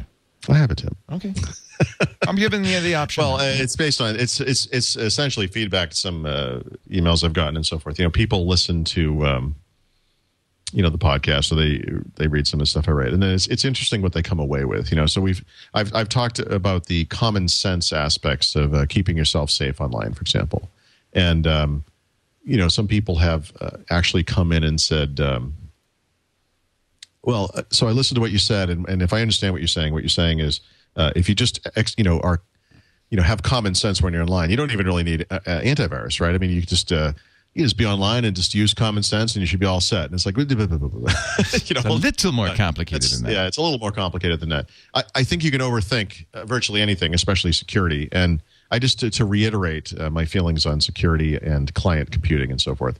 It basically boils down to this. I mean, if you have uh, if you're running Windows, you need to install some kind of antivirus. I happen to use now the Microsoft uh, solution, and the reason I do is because it's small and lightweight and it's fast, and it, it is not annoying. You know, it doesn't pop up constant little reminders and little bubbles, and, and it doesn't do any of that stuff. So I really like that kind of thing. To me, that's the big. That's, I mean, I mean, it, the security of it is almost secondary. You know, I used to joke with uh, Windows uh, Live One Care that it actually wasn't doing anything in the background, but it would just pop up Windows occasionally on, on a timer to make you think it was doing something, and that just by virtue of the fact that you thought you were protected, you would be safe. It's sufficient. Um, yeah. Yeah, it was, it was almost enough, you know. But that, obviously, that's not the case. So you need good antivirus. I would, you know, maybe thinking of it more holistically, you know, good anti-malware, right? Windows has spyware protection built in. If you're using uh, modern browsers, IE8, uh, Firefox, etc., um, there's anti-phishing tools, anti-worm tools, anti-malware tools. All that stuff is in there. Um, one of the more controversial things that I've heard, and uh, uh, depending on who you're listening to or, or reading or whatever, is uh, some people will uh, recommend not enabling automatic updates. And oh, and that's when- bad advice. Yeah. Somebody somebody called me on the radio Hmm. show. Said I got a virus, and uh, my friend the geek told me t- you turn off auto. Yeah, yeah, yeah. So let me. What is the I'll- rationale behind that? Yeah. That makes no sense. You could. It's funny if you follow the entomology of this, or uh, you know the, the background the, of the this butterfly collection. particular. oh, yeah, oh, you mean the etymology? Okay. etymology, sorry, of this particular uh, type of advice. It almost all goes back to I think it was the second service pack for Windows and you know uh, 2000. You know that went it went bad and uh, there were kind of problems there and people like oh you got to turn you know don't up don't just update you know. Um, here's here's how it really works. Uh, when you're driving a car and you, there's a seatbelt in the car or an airbag in the car, you know some tiny percentage of the time that device which is there to save your life will in fact hurt you in some way, right? You know they're the you know the thing blows up in your face and you smother or whatever happens. I mean that does happen sometimes, but the vast majority of the time, those things will save your life. And automatic updates is just like that. Yes, it's possible. Uh, that every once in a while there may be an update that screws something up, and certainly we can document those times that it's happened. But you know what?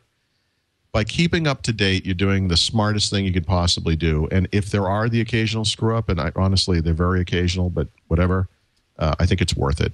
Um, you have to enable automatic updates. And people get really bristly when I say this, but you would be an idiot not to enable automatic updates. I mean, come on. Uh, that's just common sense. Automatic updates in Windows does all kinds of things, but one of the things it does, if you have your, um, you know, in things like Defender or Internet Explorer or the Microsoft Security Essentials, all of these things, uh, they can update their signatures and their protection capabilities through automatic updates. You gotta you gotta keep that on, obviously. I mean, just obviously, and and and just in general, keep all of your software up to date. You know, occasionally it makes sense to go to Windows Update and see what's up there because sometimes Microsoft throws things into uh, optional updates or things that won't automatically get installed. It's a good idea to see, you know, what's available. There seems to be, uh, I think, like three levels. There's cr- critical, uh, recommended, Oh, and yeah. optional, right? Oh yeah, yeah, okay, yeah, yeah. In Windows Update, In yes. Windows Update and critical, of course, you always want. Oh, you must do. You just those will be installed. I mean, unless you turn off. You could turn it off, but you should. You know, don't.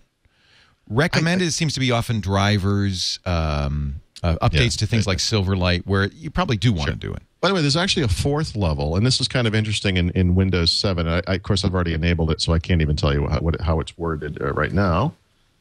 Well, I could look at this other computer, I guess. But um, if you open Windows Update for the first time, there'll be a little uh, uh, text link at the bottom that says uh, provide updates for other software or something like that. And this is where you enable the things that um, aren't going to come up otherwise, like Windows Live Essentials, for example, would fall into that category. So It's is it all something- Microsoft, or is it, could it be Adobe too? No, it's all Microsoft, It's all right Microsoft now. stuff. Yeah. Okay. You know, and eventually, uh, listen, they've been talking about this for 10 I'd years, but eventually I'd love it. third party stuff Yeah. uh, should be in there. I mean, obviously, drivers are essentially third party, so that, that's maybe that's the start of it. But uh, yeah, you know, for, for high profile uh, applications that are hacked a lot, right? Because uh, hackers have uh, moved on from the OS in many ways and are now targeting applications. Like the Adobe stuff is very famous for that Microsoft Office. Uh, famous attack point right now, or big attack point. It makes sense for that stuff to be in there, so hopefully that will happen as well. So it's not recommended. It's important. I think is what they they're Okay. telling me in the chat room. They call it important. Well, uh, you know, you need to look at that stuff occasionally, regardless, because the the really important stuff, the critical stuff, will be installed automatically if you have automatic updates on. Some of the other stuff won't be. So, I, you know, every once in a while, I think it makes sense just to go in and, and refresh the view and see what's going on there. Yes, yes, yes. and uh, you know, just check it out. I'm with you on that one. And then beyond that, uh, beyond that, after all this stuff, that's this is when the common sense kicks in. I mean, you know, you're browsing around, and come on, I mean, uh, you know, don't fall for every fake uh, security software pop up that says you have a virus and would you like to download the tool that's going to fix it. I mean, you think, think, please, um, when you get that stuff. And what sites are you visiting, by the way? Yeah, yeah, up? yeah. No kidding. So it's not just common sense. I mean, uh, part of the common sense is doing the right things to secure your computer as well. There are actual technical solutions uh, that you should be smart enough to uh, make sure are there and updated. And then after that, it's behavioral. So it's it's. I guess my point is, it's not just common sense, but you have to. There, there are a couple steps you can take to secure Windows that ultimately fall under the category of common sense, but they're actual, you know, technical tools that you should enable. And finally, our software of the week. Yes. Um, oh, and before we get to the software week, I wanted to discuss briefly last week's pick. Uh, I got a bunch of email, of course, from the uh, VLC users, as I knew I would. Uh, last week, I recommended something called Media Player Classic Cinema uh, as a lightweight uh, video playback uh, tool.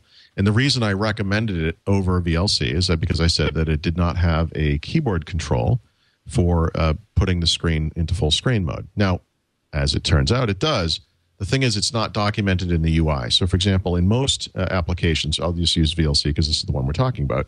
If you go to the video uh, menu and bring it down, there's a full screen option on the menu, but there's no key control next to it. In other words, it doesn't tell you right there what the what the um, you know what the shortcut is. Most applications in the menu will have the the options that are available, and then to the right it will tell you the keyboard control. So the first time you go, you find the option, you look at the keyboard control, the shortcut, and you can use it from then on. Now, the reason I recommend Media Player Classic is that a it's documented, but b it also works the way most applications work when you put them into full screen mode in Window, which is all all plus enter. The reason this is important to me is that this is on my kid's computer. My kid doesn't know keyboard controls, and if it's not listed there, she's never going to find it. So it's nice that she can go to a menu and choose on the thing, but that's an extra step. I mean, without knowing that it's, you know, things are easy once you know they're there, but if it's not documented in a straightforward fashion, it's not something you're going to find by mistake. It turns out you can also click on the screen in VLC to full, put it into full screen. That's great too, but But you got to again, know it, otherwise you wouldn't do it. Yeah, it's kind of a technical. Um, I didn't notice it until yeah, yeah. It's for So, geeks. Yeah. That, that's that was the point of that. That's all. So um, there's nothing wrong with VLC. It's just that for a little kid, uh, i.e., a typical Windows user, I guess, if you want to put it in that case, uh, it's a little, it's just a little obscure. That's all. So there's nothing wrong with VLC. I didn't mean to uh, suggest otherwise, but I just think it could be a little more obvious. It's designed for by and for geeks. Yeah, absolutely. And it does other stuff too. I mean, there's, there's complicated things you can do with media players, like you can load uh, caption files in and, and all that stuff. And I'm, you know, that's nice. But I, I just want I want my kid to be able to double click on something and have it work. So So um, we talked at the beginning of the show about another way to install Windows, and this is important for people, for instance, who are using netbooks that don't have CD or DVD players. yeah. Now, um, right. So if you buy Windows 7 from the Microsoft Store, right, uh, store.microsoft.com, uh, you can order media and they'll send it to you in the mail, and that's nice. But you know, if you're in, if you want a more kind of an instant feedback kind of a thing, you can download an ISO file. Problem is, most people don't have ISO Burners. capabilities or no, you know. know Actually, to- seven does. If you have once you have seven, you can Seven does, but Yeah. I mean, this is before you have seven, presumably. This is how you would get to seven, right? Yeah. But the thing that's cool about the Microsoft tool, so they provide a tool called the Windows 7 USB slash DVD download tool. And what it allows you to do is take a Windows 7 ISO file, i.e., uh, uh, the, the image of a setup disk, and burn it to a DVD, which is great. You can boot with that, or place it onto a USB flash drive. That flash drive one is really interesting because that will work on a netbook, which doesn't have an optical drive you have to have one that's four gigabytes or bigger for it to work. You know, I think the the smallest ISO uh, 32-bit version of Windows uh, 7 Home Premium is roughly 2.2 gigabytes, uh, and it goes up from there depending on which one you get. So um, you need four gigabytes in order for that thing to expand right out to the into a file system, and they they they um, you know configure the the USB uh, drive such that it will boot and you can plug that thing into your netbook, uh, turn on your computer. Uh, if it doesn't automatically boot off of that thing, you can select it through the BIOS or through the you know the initial setup tools, and um, you know launch Windows 7 setup. By the way, um, when you're doing that, you're doing a custom install with upgrade media, which Microsoft will tell you in some cases is actually illegal.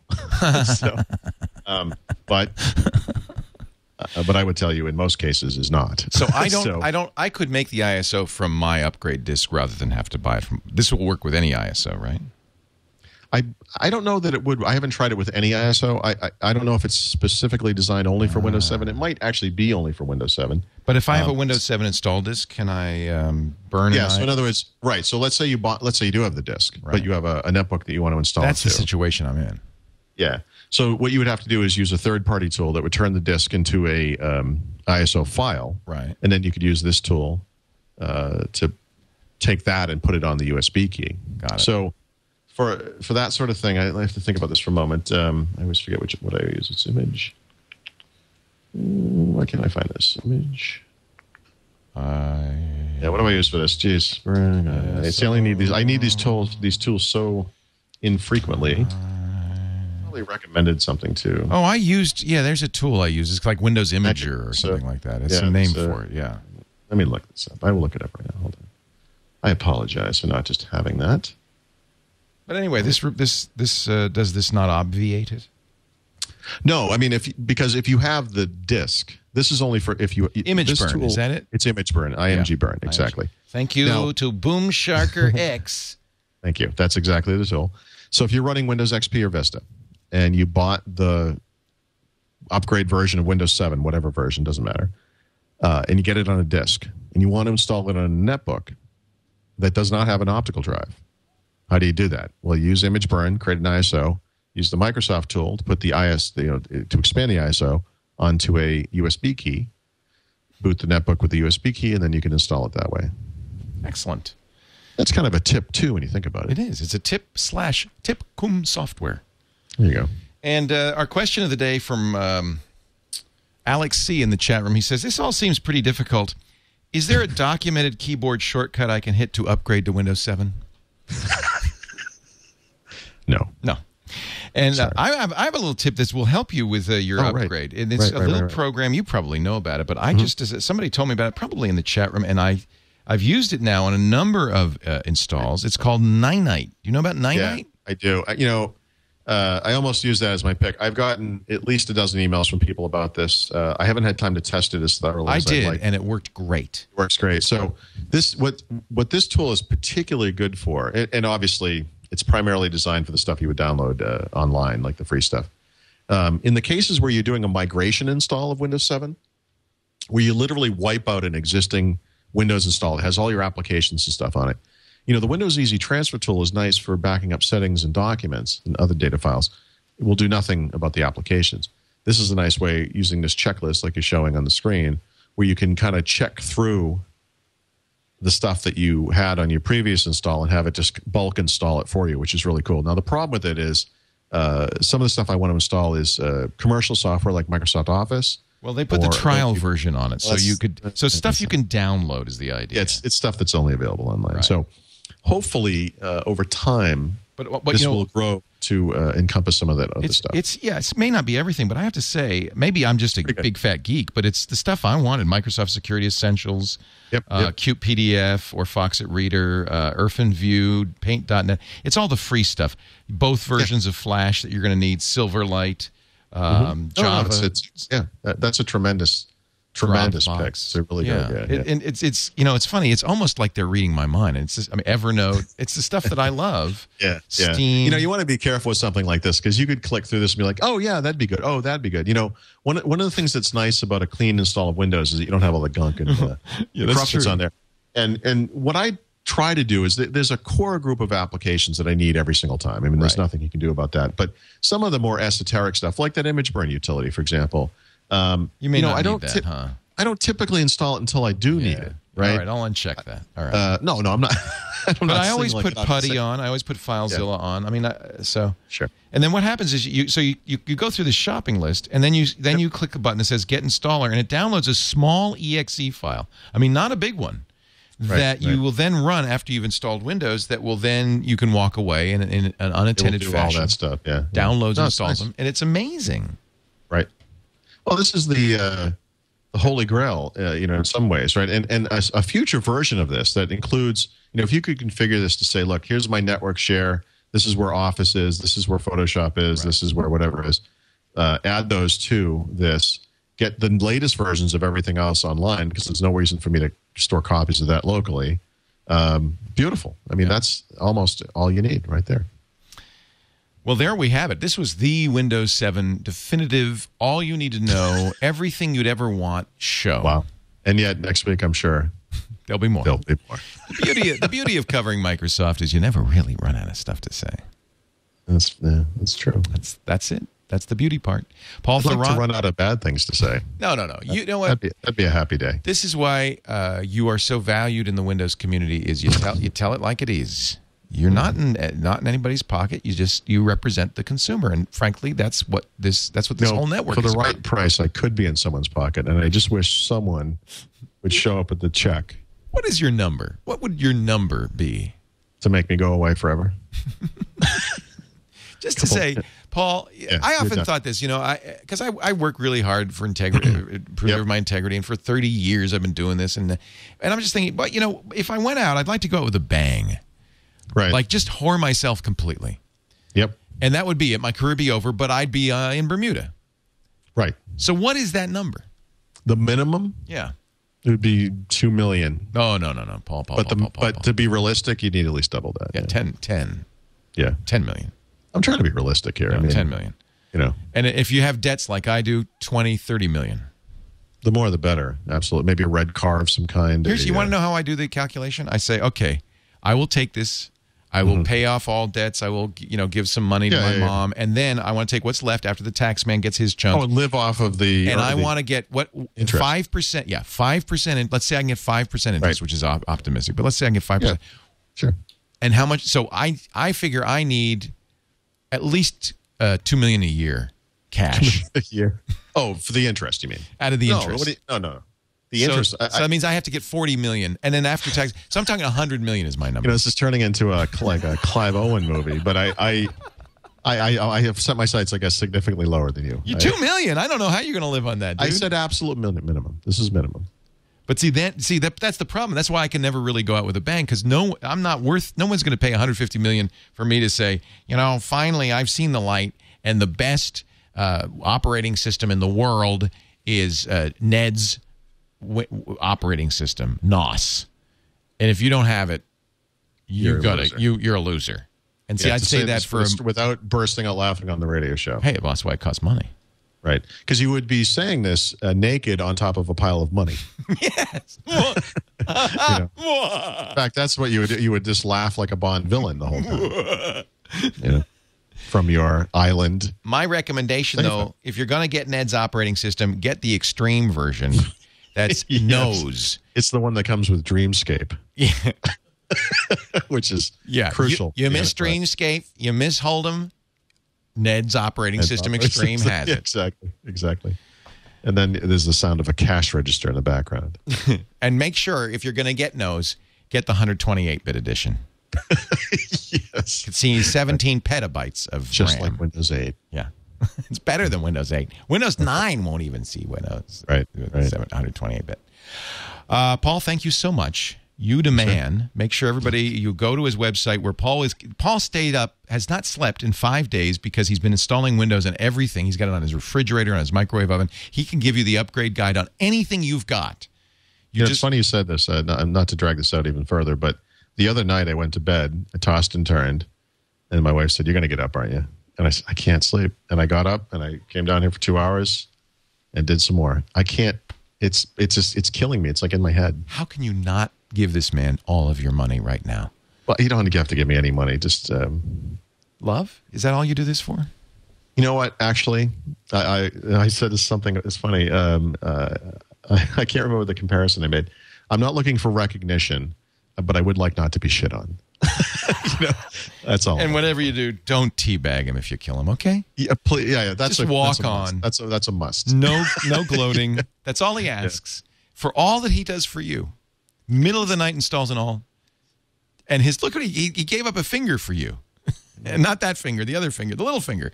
And and and and all he asks is that after you kill him, you don't hump the corpse. That's all.